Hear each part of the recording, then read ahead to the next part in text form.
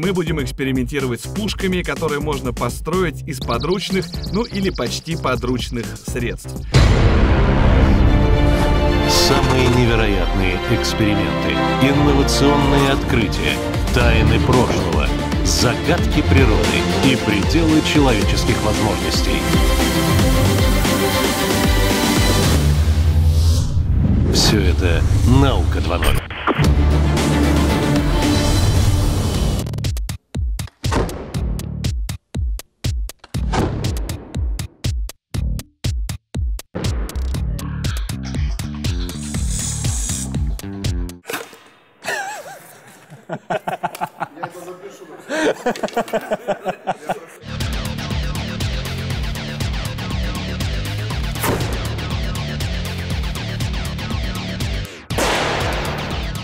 Вот, вот теперь хорошо пошло. Все, отлично, научились правильно стрелять. Так, но, слушай, фанеру, тем не менее, мы пробить не можем. А, ну вот она, да? Нет, это здесь. Ну, слушай, ну, по крайней мере, это и неплохой способ делать пюре. Да.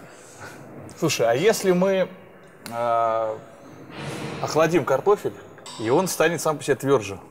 Ну да. Можно Тогда попробовать. что-то получится? Да, но для этого нам понадобится жидкий азот. Ну, у вас же есть. Конечно.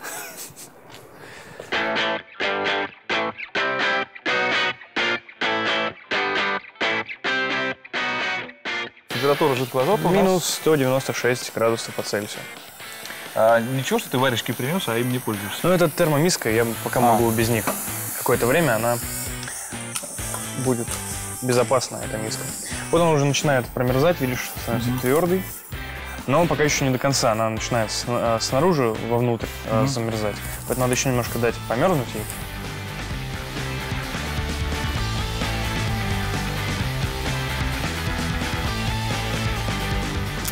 Да, смотри. Да, стало шире. Вода внутренняя замерзла, расширилась. Так, ну что, Ну что, надеюсь, все будут живы.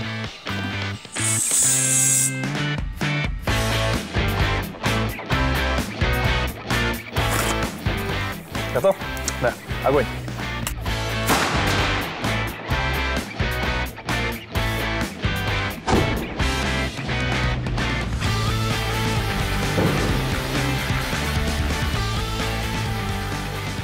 Другое дело. Фанеру я попал.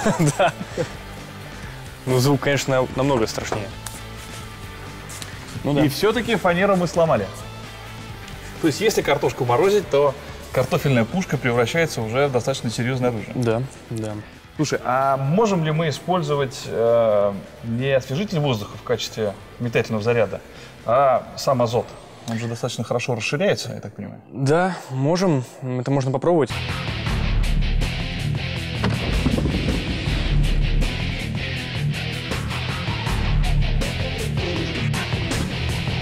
Если мы используем азот э, в качестве метательного заряда, то наша задача сделать так, чтобы э, его расширение произошло как можно более резким. Ну чтобы да. он дал Да. большой объем. Ну а сейчас мы посмотрим, как ведет себя бутылка, если в ней закрыть чуть-чуть жидкого азота. Бутылка превращается в настоящую бомбу, поскольку азот, когда становится газообразным, расширяется в 700 раз, и бутылка не сможет выдержать такого давления внутри себя, и рано или поздно взорвется. Но это вообще безопасное расстояние, где мы сейчас стоим? Да, вполне безопасная, то есть ее порвет на ошметке, но на таком расстоянии уже они не так быстро будут на нашу сторону лететь, даже если попадут, то они так шлепнут по нам и отвалится. Ну тебе хорошо, ты в очках. Надо было тебе тоже дать. Не кажется ли она прям как вот надувается мне верхняя часть? Кажется, я проиграл спорт. Это было хорошо. Но это было круто, да.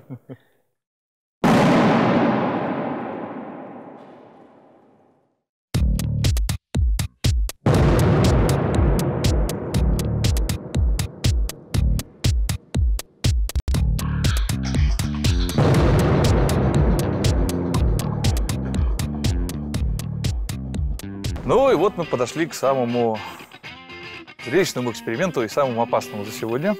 А, мы сейчас попытаемся выстрелить с помощью бутылочки. Вы видели, как она взрывается. А, так, ты готовишь бутылку.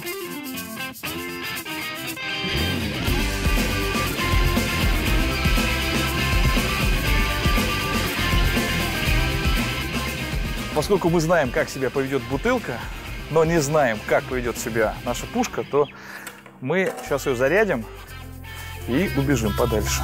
Так.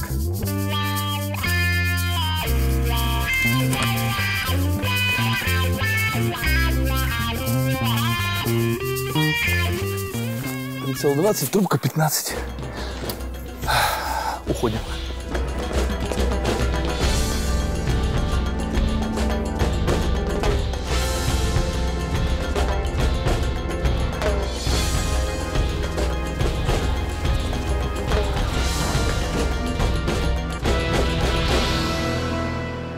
Вот они пошли, томительные минуты Ожидание. ожидать.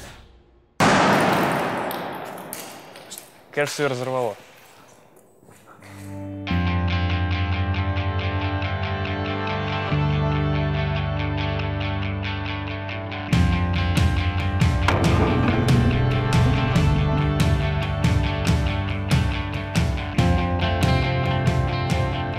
Осталось там, да? Картошка на месте. Картошка на месте, разорвало именно. Да. Вот такая вот разрушительная сила, этот жидкий азот.